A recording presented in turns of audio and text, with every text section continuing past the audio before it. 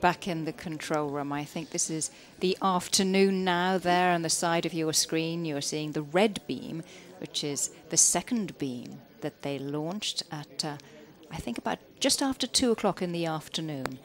And it made its slow progress around the enormous LHC. Roger Bailey there telling us from time to time what was going on.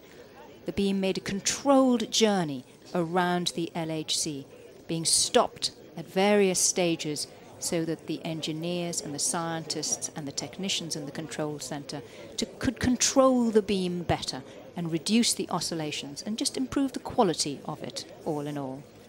That was the first sector successfully achieved in the counterclockwise direction. First injection in that direction. And this is the almost full circle done in the counterclockwise direction with just the last little bit missing from point one to point eight. It's the double and flashes we're looking for again. There it is, the completion of the circle. What a day.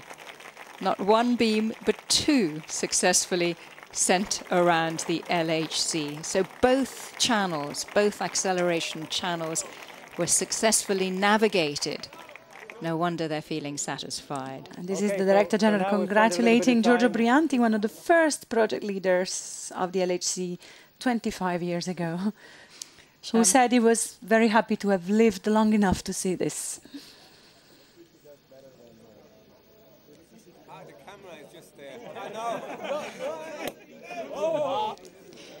You can hear the popping of champagne corks. It was at 4.30 this afternoon that the celebrations really began in earnest because that's when the alcohol ban here at CERN is lifted and the partying started. But that doesn't mean that the work has stopped because some technicians, some engineers, some scientists remain on shift and they're going to continue working through the night to make sure that the next step will be a circulating beam. This uh, su successful day of spectacular successful day of the start of the LHC uh, uh, machine operations. Uh, I would also like to give some This is Jos Engelen at 5 for the 5:30 for the final briefing of the day. And uh, even if uh, they haven't seen beam-beam collisions yet, they will very soon. Uh, they have been in a position to register the particles that were sent to them by the LHC, not cosmic rays this time, by the LHC uh, at the time uh, that they needed to register them. So they were able to time in their detectors and make an enormous progress from well prepared detectors to detectors that are really seeing what they should be seeing. So also there at that front uh, the LHC program today has really started and we can look back also uh, in that respect at a very, very successful day.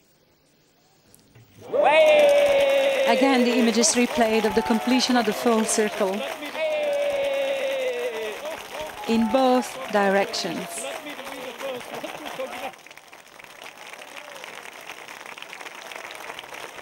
Uh, and we got not only one, but we got both beams. Now, I, I think I, I just come from a meeting where we uh, we have discussed the program now for, for the uh, for the next 24 hours.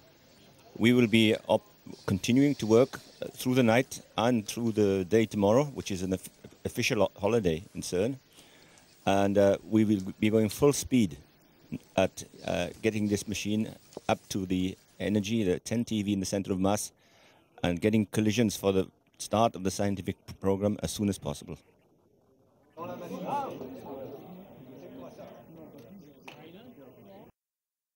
Insignificant though this bottle of compressed hydrogen gas looks, it marks the beginning of the world's largest and most powerful particle accelerator chain, culminating in CERN's spectacular Large Hadron Collider. Hydrogen atoms from this gas cylinder are fed at a precisely controlled rate into the source chamber of a linear accelerator, CERN's LINAC 2, where their electrons are stripped off to leave hydrogen nuclei. These are protons and have a positive charge, enabling them to be accelerated by an electric field. their journey to eventually take part in ultra high energy collisions similar to those following the Big Bang can now begin. This initial acceleration has caused LINAC 2 to be likened to the lumbering first stage of a huge rocket. By the time this packet of protons leaves LINAC 2, it'll be travelling at one third the speed of light. It's about to enter the booster, stage 2 of the rocket if you will.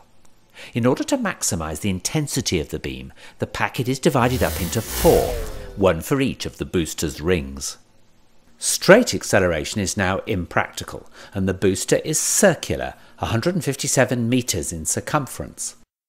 In order to accelerate the packets, they are repeatedly circulated, and the electric field is now pulsed in the same way that you push a child on a swing each time they reach a certain point. Magnets exert a force on the passing protons at right angles to their direction of motion, and so powerful electromagnets are used to bend the beam of protons round the circle.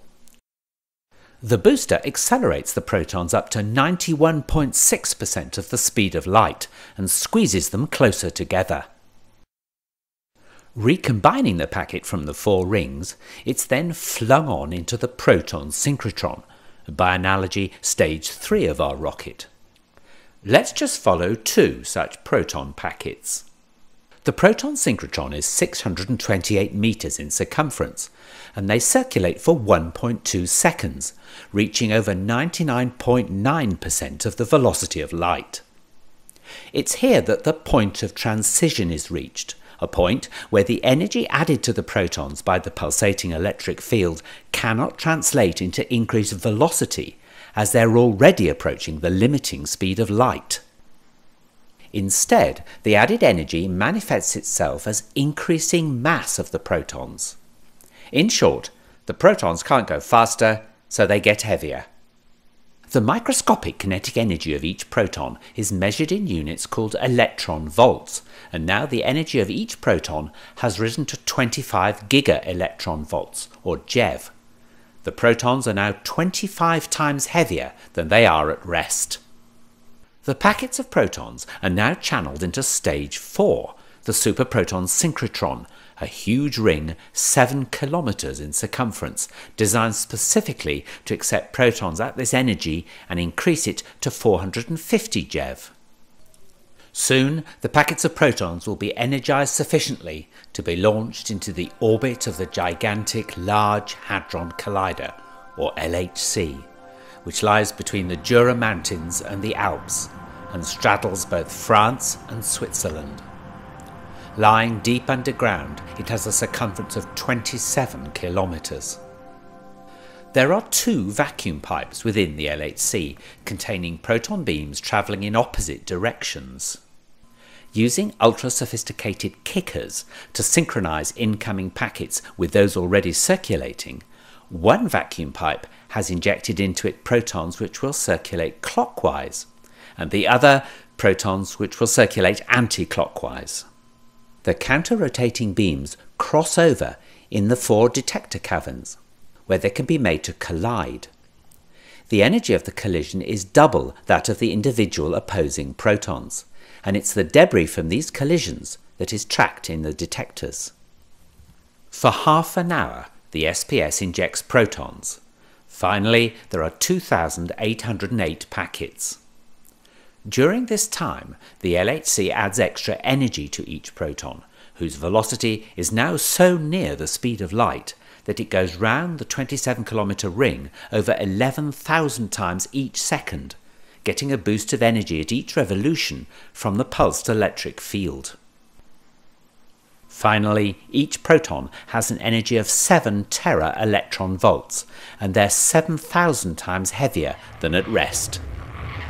The magnetic force needed to keep the beams bending to the ring is so enormous that nearly 12,000 amps must flow through its electromagnets.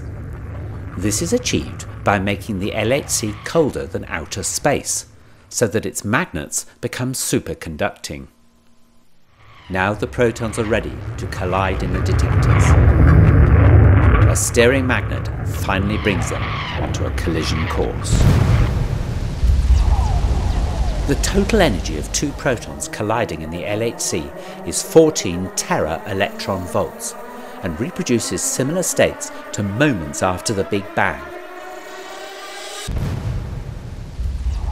Particle tracks from these collisions will be analysed by computers connected to the detectors, and it's hoped these tracks will give a new insight into the very birth of our universe, how our universe has evolved, what governs its behaviour today, and where it's going in the future.